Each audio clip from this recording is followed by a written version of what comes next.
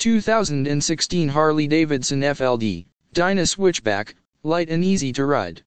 Fairing, exhaust, airbox 2016 Harley-Davidson Dyna Switchback easily convertible from cruising to touring, it's like two bikes in one, with no compromises.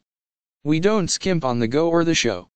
You'd need to travel with a trailer full of bikes to come up with the versatility the switchback motorcycle puts on two hot rod styled wheels.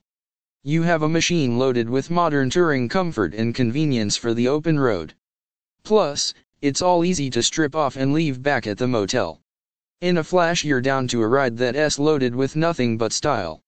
Features may include, authentic styling The motorcycles in the Dyna family trace their roots to the original Harley-Davidson factory customs. Notice the powerful front ends, chromed steel details and tricked out wheels. There isn't an ounce of doubt that you're looking at a rolling sculpture. But there is something bigger at work here than a mere visual statement. These are motorcycles sprung from a long riding tradition, with a strong emphasis on the riding. Post-war bobbers. Rebellious 70s choppers. Motorcycles where the theme was riding hard and the only rule was nonconformity. The profile is long and low, built to show off plenty of muscle.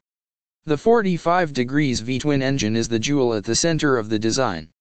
There is no denying the powerful message sent by such a machine. It says get in the saddle, fire up big twin engine, treat your ears to the most satisfying exhaust note in all of motorized transportation, then go wherever the road out of town takes you. Iconic engine There is something about the steady pulse of power from an air-cooled twin-cam 103 engine that works its way into a rider in one T let go. Once you've experienced it you understand. Nothing else in the world of motorized transportation could be as satisfying. There are perfectly rational explanations for this.